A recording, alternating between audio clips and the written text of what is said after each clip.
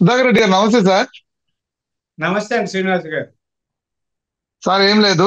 సామాజిక సాధికారత న్యాయం బుస్ యాత్ర దీని ద్వారా సామాజికంగా అన్ని వర్గాలకి జరిగినటువంటి సామాజిక న్యాయం ఏదైతే ఉందో దాన్ని అన్ని వర్గాల జరిగినటువంటి సామాజిక న్యాయాన్ని మంత్రులందరూ ఈ ప్రభుత్వం తరపు నుంచి చెప్పడానికని బయలుదేరినటువంటి ఒక బస్సు యాత్ర అంతకుముందు అటు నుంచి ఇటు వచ్చారు. ఈసారి ఇటు నుంచి ఇటు ప్రయాణం చేశారు. ఇటు నుంచి ఇటు వచ్చినప్పుడు ఎంతో కొంత ఓ టెన్ పర్సెంట్ బెటర్ అనుకుంటే ఇటు నుంచి ఇటు వచ్చేటప్పటికి టూ పర్సెంట్ కూడా దానికి ఆదరణ లభించట్లేదు.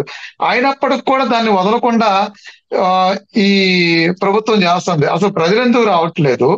అలా ఉన్నప్పుడు కూడా వాళ్ళు ఎందుకు ఆ ఆ సామాజిక న్యాయ బస్సు యాత్ర అనేది ఆపేయకుండా ప్రయాణం చేస్తున్నారు? అంటే దీనివల్ల ప్రభుత్వానికి అవమానకరంగా కానీ అంటే దీని మీద పెద్ద ఎత్తున చర్చ జరుగుతున్న పరిస్థితుల్లో అవమానంగా ఏం ఫీల్ అవ్వట్లేదు అంటారా ప్రభుత్వం? అంటే ప్రజలు ఆదరణ లేకపోవటాన్ని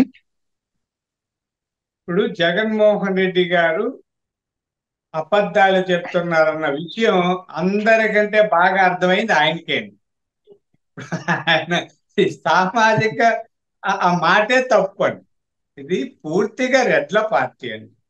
పూర్తిగా రెడ్డి సామాజిక వర్గం సేవా సమితి మాదిరి ఉంది ఇది కానీ. అంటే ఎందుకంటున్నా అంటే నేను రాష్ట్రంలో ఎక్కువ పదవులన్నీ రెడ్లకు ఉన్నాయి నామినేటెడ్ పదవులు. సలహాదారులు ఎక్కువ మంది రెడ్లు. యూనివర్సిటీల్లో వైస్ ఛాన్సలర్ ఎక్కువ మంది రెడ్లు. ఇప్పుడు ఉదాహరణ చెప్తాం మా తిరుపతి తీసుకుందాం. మా తిరుపతిలో సిఐలుగా ఉన్న వాళ్ళు పోలీస్ సిఐలుగా ఎక్కువ మంది రెడ్లు. TUDA chairman Reddy MLA Reddy TTD board chairman Reddy తర్వాత మొన్నటి వరకు యూనివర్సిటీలో రెడ్డి ఉన్నారు. ఇలా అత చిన్న చిన్న ఏ పదవి తీసుకున్నా రెడ్లే ఉంటూ అది ఇక్కడ సామాజిక సమతుల్యత ఉందని చెప్పడం తప్పండి. అలాగే మా జిల్లాలో పద్నాలుగు స్థానాలు ఉన్నాయి. మూడు రిజర్వేషన్లు పోతే ఏడు మంది ఎమ్మెల్యేలు ఉన్నారు. అంటే సగం మంది ఎమ్మెల్యేలు రెడ్లే ఉన్నారు. ఇంకొక సరే మిగతా వల్ల బీసీల్లో కూడా ఇప్పుడు రెండు ఇద్దరికి బీసీలకి ఎమ్మెల్సీలుగా ఇచ్చారు. పైకి పేరు కంటే బీసీలు అంటారు. ఆ, భరత్ గారు ఆ తర్వాత సిపాయి సుబ్రహ్మణ్యం గారు అంటే డాక్టర్ ఆయన. వాళ్ళిద్దరు కూడా మా మా ఏరియాలో రెడ్లే అండి పల్లె రెడ్లు అంటారు వాళ్ళని. లేదా వన్య కాపులు అగ్నికుల క్షత్రియులు అంటారు. అంటే రెండు ఎమ్మెల్సీలు పేరుకు బీసీలు ఇచ్చిన బీసీ రెడ్లకే ఇచ్చారు. అర్థమైంది కదా? కాబట్టి ఈ రెడ్లకి అన్ని పదవులు ఇస్తూ వస్తున్న జగన్మోహన్ రెడ్డి గారు సామాజిక ఆ, మాట అనడమే నాకైతే ఎబ్బెట్టుగా ఉంది. ఆయనకు తెలిసేది. అయితే ఏదో ఒక భజన చేయాలి కదా? మంత్రులందరికీ తెలిసి? ఆ భజన చేస్తున్నారు ప్రజలకి తెలిసి ఈ విషయం. ఇది ఉత్త భజన. ఇతను కేవలం ఒక కులాన్ని లేదా ఒక రెండు కులాలని అడ్డు పెట్టుకొని రాజకీయాలు చేస్తున్నారు.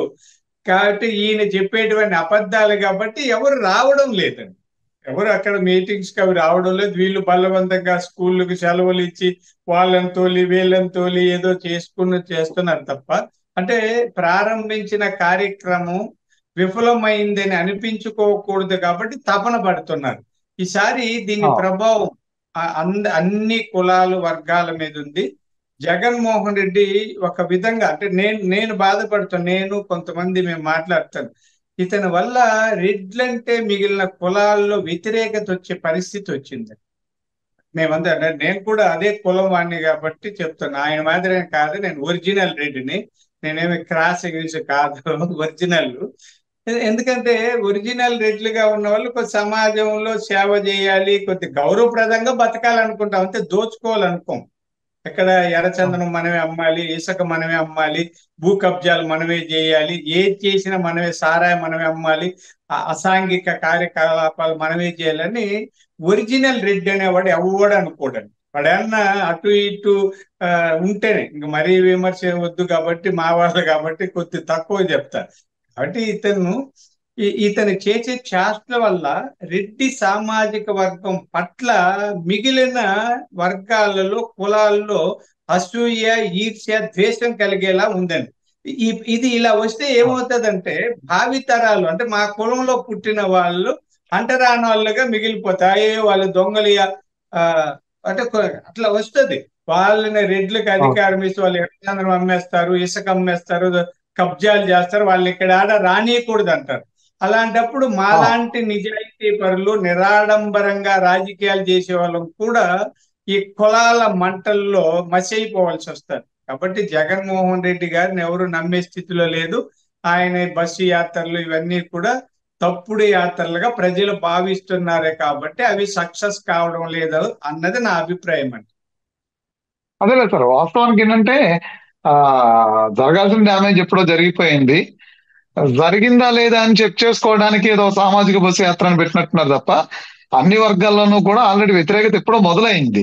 అసలు మన మీద వ్యతిరేకత ఉందా లేదా అని వాళ్ళే గ్రౌండ్లోకి వెళ్ళేదో పరమానందయ్య శిష్యుల్లాగా వాళ్ళే గ్రౌండ్లోకి వెళ్ళి చెక్ చేసుకుని అవును రో నిజమే జరిగింది అని చెప్పుకునేటువంటి పరిస్థితికి అయితే ఆ సామాజిక బస్సు యాత్ర వచ్చిందండి. ఎందుకంటే అది నిజంగా ఆ సక్సెస్ కానప్పుడు ఆ మాక్సిమం దాన్ని ఆపేసుకున్న గౌరవం ఉండదు. అలా ఆపకుండా ప్రయాణం చేస్తున్నారంటే నిజంగా పరమానంద శిష్యులు లాంటి వాళ్ళే అనుకోవాలి. అలాంటి పరిస్థితులే వాళ్ళు క్రియేట్ చేసుకుంటున్నారు. థ్యాంక్ యూ సార్ నమస్తే.